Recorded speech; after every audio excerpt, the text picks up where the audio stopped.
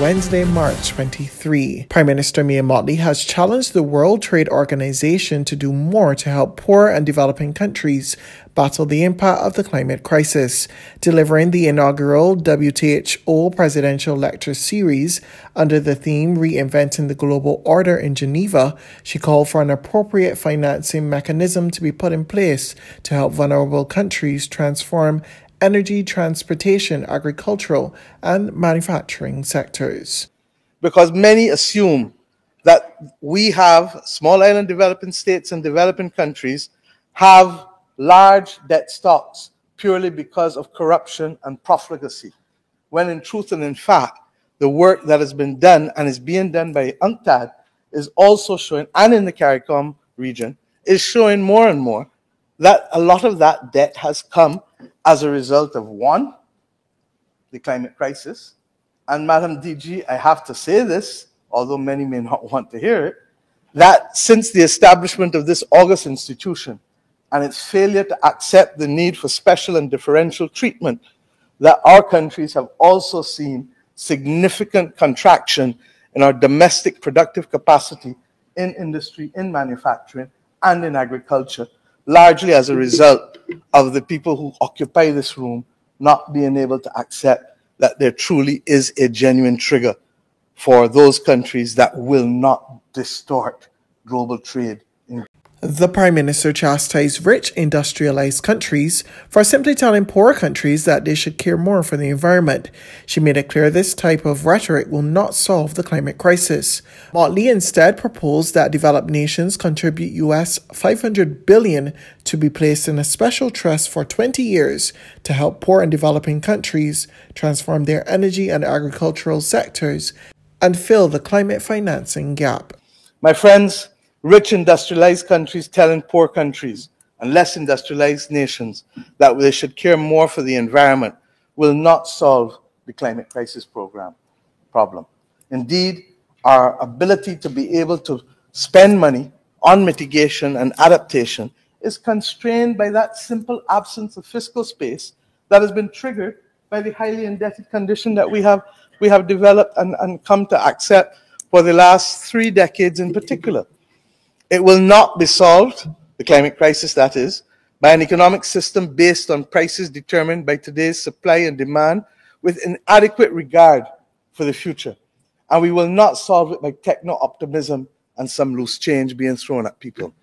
In other news this Wednesday, 36 form students across the island will have their chance to explore several career options as the Barbados Association of Guidance Counselors hosts the 15th staging of the National Career Showcase next week. Speaking during the launch this morning, President of the BAGC, Dr. Patricia Welch, says this year's showcase will see approximately 8,000 students being able to access information from various fields, including the arts, science, and technology. This National Career Showcase has been one of the major responses of the Barbados Association of Guidance Counselors in preparing our students for the world of work beyond for the world beyond school.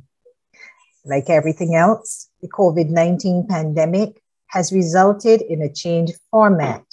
But this morning's activity is testimony to the determination of the organizers to ensure the continued exposure of our students to opportunities for work and study. On behalf of the Ministry of Education, Technological and Vocational Training, I wish to commend the President and the members of the Association of Guidance Counselors and all other persons involved for working tirelessly to make this event happen. Education Officer Sirlene Griffith Willoughby praised the organization for hosting the National Career Showcase for students amid the COVID 19 pandemic. She said the showcase plays a critical role in preparing students for the world beyond school. The intention is to support the holistic development of these young people so that they can become productive citizens in the future. Hence, our association the Barbados Association of Guidance Counselors, which comprises of guidance counselors within all of our public secondary schools, a few private schools and tertiary institutions be effectively facilitate career guidance and counseling. Our mission is to contribute to excellence in education by upholding high ethical standards and provide effective individual and professional support to members. The Queen Elizabeth Hospital is now in a better position to treat patients suffering from heart attacks.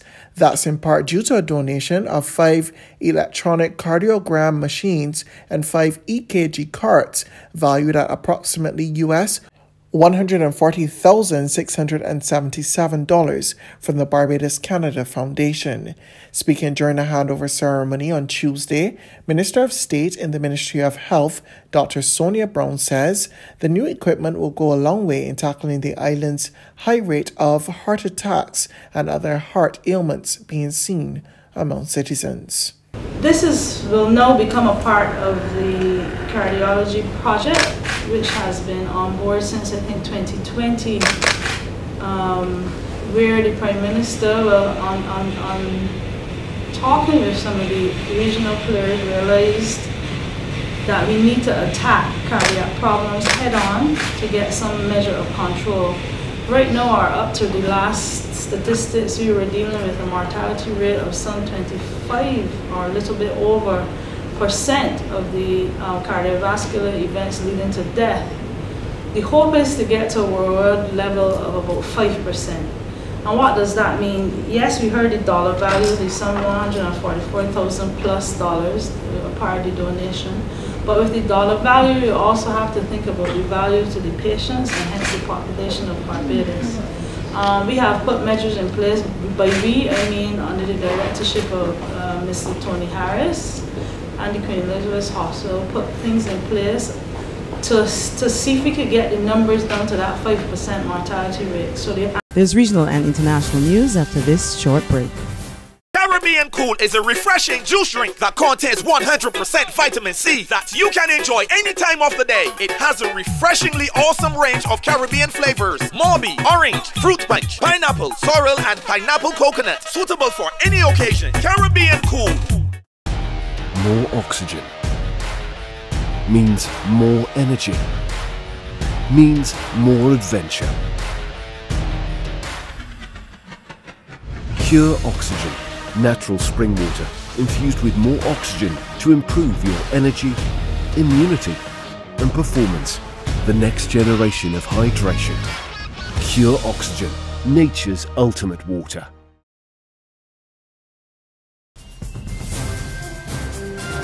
To regional happenings in Trinidad, Minister of National Security Fitzgerald Hinds is assuring the public that immediate steps have been taken at the Golden Grove prison to reinforce the area where five prisoners escaped on Sunday. We get more of this report from TTT News. Minister Hinds toured the Golden Grove prison on Tuesday and had a first hand look at Dormitory 4, the exact location of Sunday's prison break. He says discussions have been held with the engineers of the prison service and engineers of the Defense Force to find solutions to prevent a reoccurrence of the situation. And while he's pleased with the interagency response, which led to the recapture of four of the five escapees in 24 hours, he's saddened by the actions of the inmates.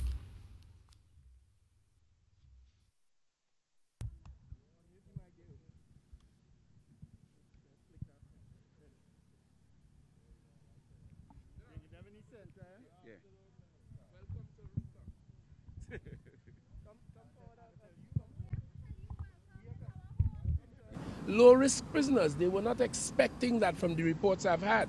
These are men who, was, who would have done fairly short sentences at the um, Carrera Island prison. On the international front, Pope Francis has weighed in on the ongoing war in Ukraine.